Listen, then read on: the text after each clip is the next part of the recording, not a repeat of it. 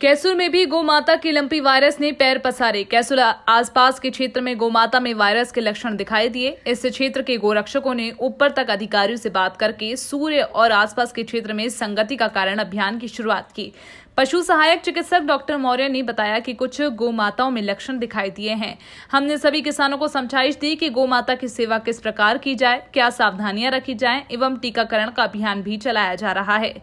गोरक्षक राजेंद्र पटेल कैसू ने बताया कि हमने गोल डोर टू डोर टीकाकरण अभियान की शुरुआत करवाएँगे। कृषकों को जागरूक करेंगे और गोरक्षा विभाग के राष्ट्रीय अध्यक्ष डॉक्टर भवनलाल जी चौधरी, राष्ट्रीय महामंत्री श्री विक्रम सिंह जी दरबार सभी से भी मार्गदर्शन लिया जा रहा है। टीकाकरण के साथ साथ देसी दवाइयों का भी उपयोग किया जा रहा है। कैसो क्षेत्र में आने वाले गौशालाओं के लिए अनिल परमार पत्रकार राजेंद्र पटेल अन्य साथियों खाचरोद गौशाला बिजूर सादलपुर में भी गोमाता के बारे में जानकारी लेकर राष्ट्रीय अध्यक्ष को अवगत कराएँगे। कैसुर से अनिल परमार की रिपोर्ट। केसुर में कुल कितने पेशेंट निकले हैं गायों को?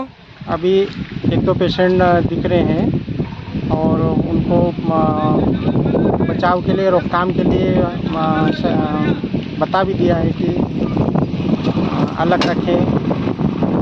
उनको पत्ती पानी में घोल के और नहलाओ और जो स्वस्थ जानवर है उनसे अलग रखें। सरकार की ओर से क्या प्रॉब्लम है?